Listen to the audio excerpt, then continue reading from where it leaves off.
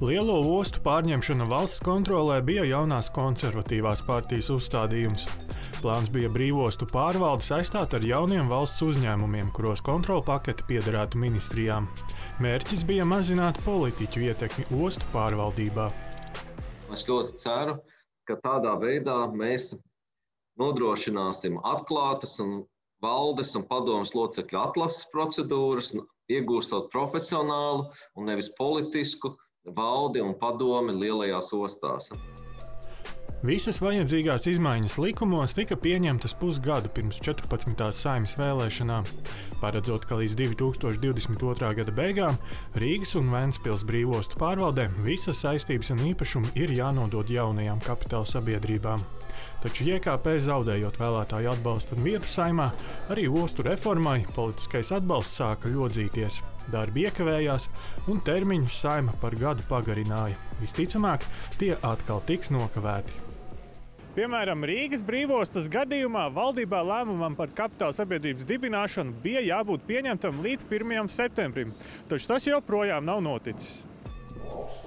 Kamēr kapitāla sabiedrības nav, neko tai nevar arī nodot, stāsta Rīgas brīvostas pārvaldnieks Ansis Zeltiņš. Arī ostas aktīvu novērtējums, kas būtu jāveic par brīvostas naudu, sākts nav, jo pastāv risks, ka nodošanas brīdī tas jau būs novecojis. Zeltiņš stāsta, ka novērtējums izmaksātu aptuveni 150 tūkstošus eiro noskaidrojam, kas to var veikt un noskaidrojam apmēram, cik tas maksā. Bet skaidrs, ka lēmums par to netika pieņemts, jo nebija ne kam nodot, ne arī bija pilnībā principā skaidrs, tad, vai šis process līdz galam notiks. Nu, tad, runājot triviāli, ja mēs to būtu izdarījuši, tad principā šī nauda būtu zaudēta un mēs dabūtu par to maksāt vēlreiz. Zeltiņš lēš, ka pārvaldi nodot valsts kapitāla sabiedrībai Rīgas ostā varētu pusgada laikā, ja būtu politiskā griba un pieņemti atlikušie lēmumi ministru kabinetā. Nedaudz cita situācija ir Vēncpils ostā, jo tur kapitāla sabiedrība Vēntas osta ir dibināta. Tomēr arī Vēncpils brīvostas pārvalde gaida uz politiķiem. Pārvaldnieka pienākumu izpildītājs Igors Udodovs rakstiskā atbildē norādīja, ka vajadzīgs ministru kabineta lēmums par Vēncpils brīvostas pārvaldes likvidāciju, lai būtu pamats veikt īpašumu novērtēšanu. Viņa prāt šogad to vēl var paspēt izdarīt. Tomēr nav skaidrības, kad un vai vispār valdībā lēmumi būs. Atšķirībā no abām Krišjāņa Kariņa vadītajām valdībām, Evikas Siliņas valdības deklarācijā ostu reforma nav iekļauta. Mums uh, bija tāda virzība, uh, virzības diskusija, ka tas ir nepieciešams, bet padziļināt, es domāju, mēs runāsim tikai tad, kad satiksmes ministrija atnesīs reāls priekšlikums, kā tad mēs ejam tālāk uz priekšu. Jo šobrīd līdz šim mums pusotrā mēnesī vēl par to diskusiju nav bijusi. Satiksmes ministrs Kaspars Briškens tikmēr neslēpj skepsi par reformu, uzsverot, ka tā maina tikai pārvaldības institūciju. Viņa prāt, to būtu jāpārvērtē. Runāsim arī ar visām iesaistītajām pusēm, lai vēlreiz pie šī jautājuma atgrieztos jau tādā pilnvērtīgā kontekstā. Gan biznesa plāna, gan institucionālās sadarbības, gan arī teiksim, visi tie izaicinājumi, kas šobrīd nozarē ir. Tā izklausās, ka tad, nu, ar diezgan lielu garantiju var teikt, ka šogad ostu reforma netiks pabeigta. Nu, ja ar ostas reformu mēs saprotam tikai un vienīgi šo institucionālo risinājumu, tad, tad droši vien, ka nē. Eh, bet vēlreiz, eh, man termins ostu reforma ietver daudz plašāku iedziļināšanos tajā, kā mūsu ostas vispār starptautiski pozicionēsies eh, tuvākajā laikā. Un tāpēc teiksim, šis jautājums par to, kāda konkrēta institūcija ar kādu konkrētu dizainu vadīs kuru ostu, man viņš ir ļoti svarīgs, bet sekundārs jautājums. Tam, ka reforma būtu jāpārvērtē, piekrīt Rīgas brīvostas pārvaldnieks Ansis Zeltiņš. Arī viņš uzskata, ka pārvaldes institūcijas maiņa neko būtisku nedos, turklāt arī citi apstākļi ir mainījušies. Krievijas iebrukums Ukrainā izmainīs gan ģeopolitisko situāciju, gan kravu struktūru. Noteikti ir pilnīgi loģiski un racionāli kaut vai šai ietvarā vien pārvērtēt arī to mērķi vai to loģiku, ko mēs reformas kontekstā gribam sasniegt. Arī tas ir neizbēgami ir drošības dimensija iekšā. Ja. Skaidrs, ka eh, drošības dimensija bija arī pirms tam, bet viņas loma noteikti bija daudz mazāka nekā tas ir šobrīd.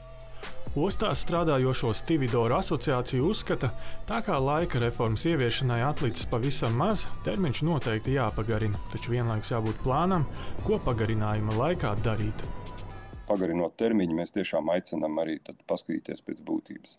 paskatīties, kā tā reforma tiešām arī var palīdzēt tieši uzlabot uzņēmējdarbības vidi, lai viņi būtu skaidri un saprotami. Kāds tas modelis, man liekas, tam jau vairs nav tik liela nozīme. Galvenais, lai būtu skaidri spēles noteikumi. Ar šobrīd viņi nav.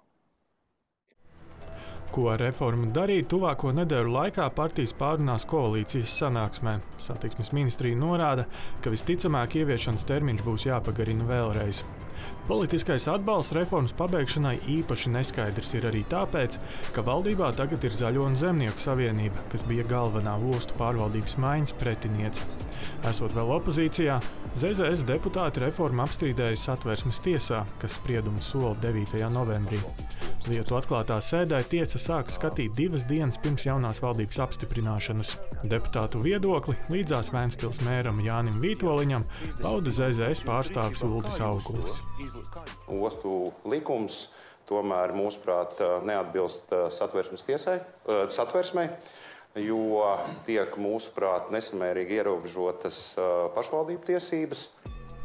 Tagad jau labklājības ministra amatā Auguls vaicāts, vai ostu reforma būtu jāatceļ, skaidru pozīciju nepauž. Vienlaikus uzsverot, ka reformai ir daudz problēmu.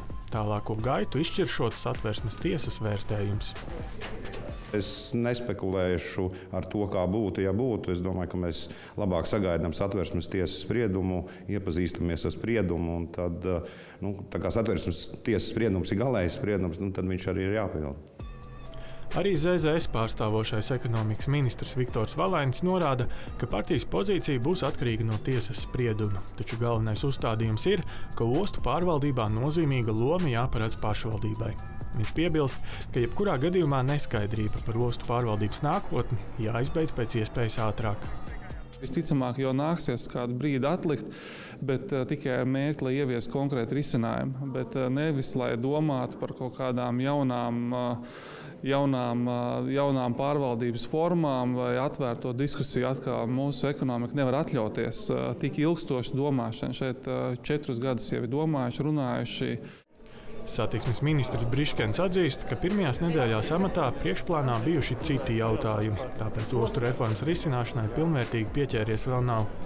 Kad realistiski skaidrība par ostu pārvaldi varētu būt, ministrs nemīl, taču piebilst, ka sasteigt tik svarīgi jautājumu nedrīkst.